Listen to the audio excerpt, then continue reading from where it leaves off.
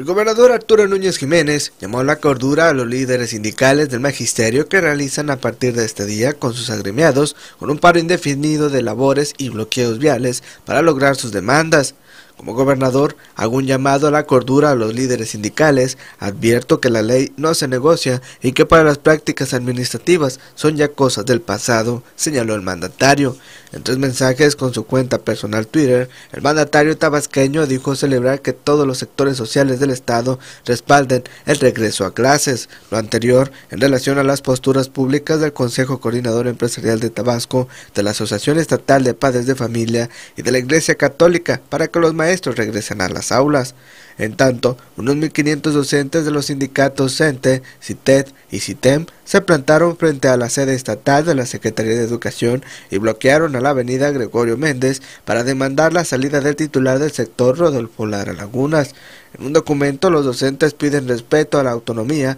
y a las conquistas gremiales, creación de nuevas plazas administrativas docentes, de programas emergentes de recategorización y de partidas especiales para proyectos de vivienda. El número de alumnos que debió regresar a clases este lunes supera los 500.000, aunque en algunos planteles se reporta la presencia de alumnos y maestros. Para Noticieros Nuestra Visión informó Sergio Cano.